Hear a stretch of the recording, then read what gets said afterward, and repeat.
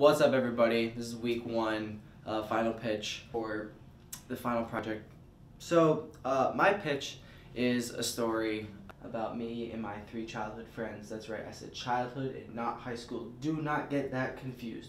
Now, each of these uh, best friends is myself and my two other friends. The concept of this film is to basically just tell you hey, dreams can be accomplished if you put the work forward to it. I know so many people that go on social media and you know all they worry about is oh is um like does my hair look good? Whatever the hell it may be. Uh, they get bullied and they get told no to so many different people. Know how much it can you know actually run somebody's life or take over somebody's life. Um, but taking it back to my roots i wanted to shoot something that literally it's not so much that I didn't have to act, it was just so much that I could literally film my life, and that's exactly why I wanted to get into filmmaking in the first place. So this film is about three friends who chase their dreams. Obviously me being into film, I want to be a big time movie director. Uh, my other friend wants to become a successful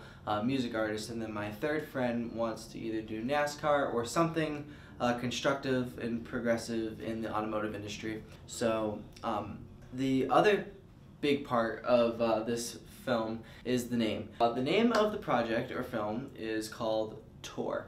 Now, obviously, tour can mean a bunch of things, but uh, the two biggest things that I'm trying to define as this word would be um, what happens when you go on a tour. You're going on a journey, and that's exactly the concept of this film. Like I said, this is a group of childhood friends, not high school, childhood friends all the way from that time period until now.